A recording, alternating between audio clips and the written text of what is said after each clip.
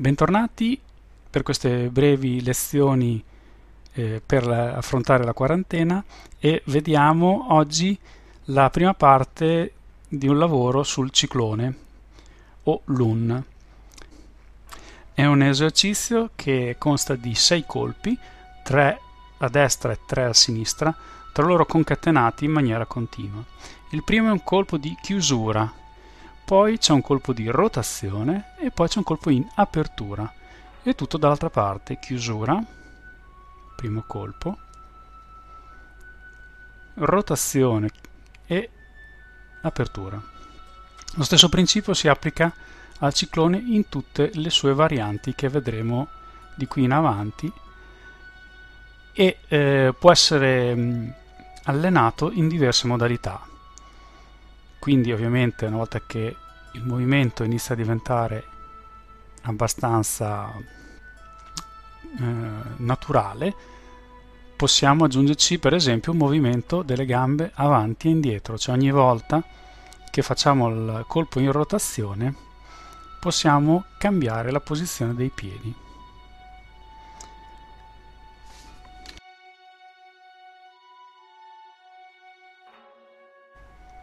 Ora vediamo invece il lavoro se abbiamo a disposizione un oggetto da colpire.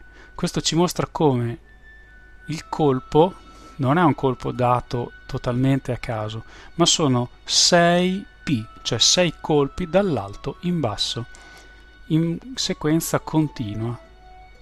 Se avete un oggetto che potete usare come obiettivo da colpire, vi può aiutare nel eh, indirizzare il colpo altrimenti potete cercare di visualizzare un, um, uno spazio compreso tra due punti, tra due pareti, per esempio eh, due oggetti tra loro più o meno vicini e colpire tra di loro.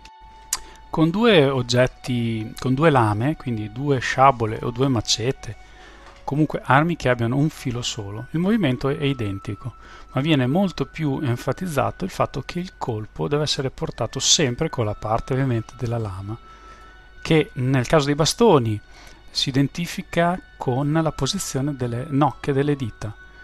Se invece abbiamo una lama, ovviamente eh, la lama stessa ci dà il senso del colpo.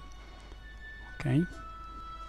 Il movimento risulta prezioso proprio perché lo possiamo utilizzare con diverse tipologie di oggetti, quindi eh, bastoni, lame, un solo lama, un solo bastone e così via, che comunque cercherò di analizzare in varie forme in questi video.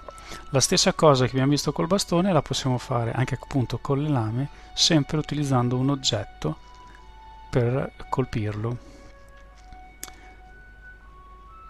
Nuovamente, come vedete, una, una possibilità è quella di sfruttare il movimento del corpo, quindi un lavoro di footwork unito al lavoro dell'arma in modo da non lavorare soltanto in una posizione statica. Vediamo ora il lavoro con un solo bastone dove l'arma armata esegue lo stesso movimento dell'esercizio visto precedentemente.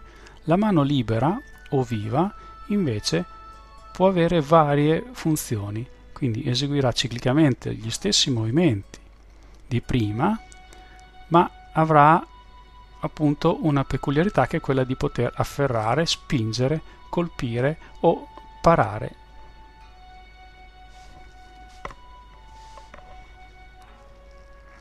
Ora osserviamo invece il lavoro con una sciabola. Questo lavoro è identico come principio, la differenza sta nel fatto che con un'arma così grande e più pesante sarà necessario di solito usare molto di più anche il corpo. Inoltre essendo una sciabola cercherò di mostrare durante l'esercizio qualche piccolo movimento variante che si può eseguire appunto col fatto che abbiamo un'arma di questo tipo. Esempio premere e colpire. Quindi premere e colpire ma la base del lavoro, la base del ciclone rimane identico. Il mio consiglio è quello di allenare questa prima parte e eh, appunto eh, farla nei suoi vari livelli, oltre aumentando la velocità, anche sfruttando il footwork e il movimento. Grazie dell'attenzione.